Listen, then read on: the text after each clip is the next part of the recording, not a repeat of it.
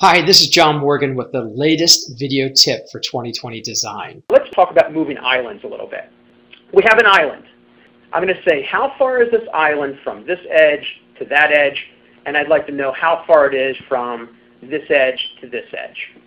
Now if I zoom in just a little bit, and you look right now, you'll see that my island is 36 and a half from the front of the range, the, countertop is, and it's 39 and 5 eighths from the front of the countertop of my sink.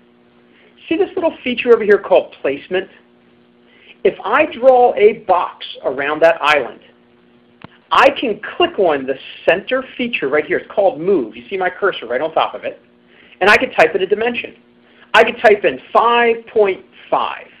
If I want this dimension to be 42 inches, I need to move it 5.5 inches. If I hit the down arrow, I just moved it 5.5 inches. 39 and 5 eighths. If I want that to be 42 inches, I need to come back over here and I need to type in, what's that, 2 and 3 eighths?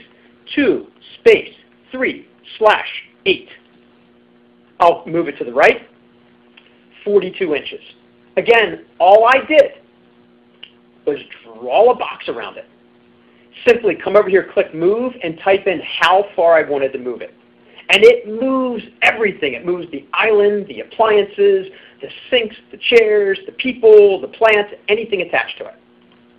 You could do that with any group of items. For other great ideas, tips, and inspiration, please join us at 2020spaces.com forward slash community.